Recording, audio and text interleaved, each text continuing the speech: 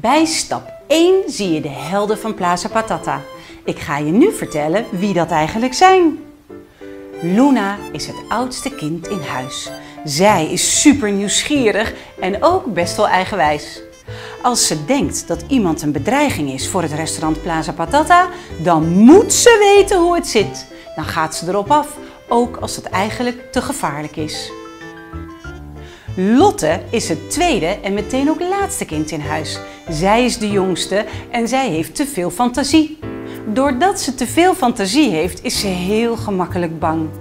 Als ze in bed ligt en een gewoon normaal geluid hoort, denkt zij al dat het een dief is. Dit is hun lieveling, papa Hans.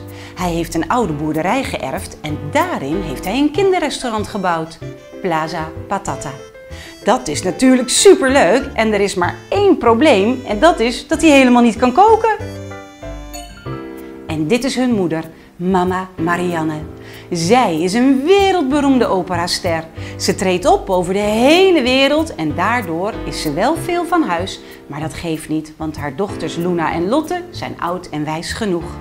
Maar als mama thuis is, heeft iedereen een glimlach. En hier zie je Adem. Hij is hun beste vriend en zodra hij in de buurt is, komt hij langs op zijn crossfiets. Hij vindt Luna en Lotte grappige meiden en als het nodig is, helpt hij graag. En dit is Camille. Hij is de ober van het restaurant Plaza Patata. Hij plaagt de meiden als een grote broer, maar ze hopen hem op een dag eindelijk terug te kunnen pakken.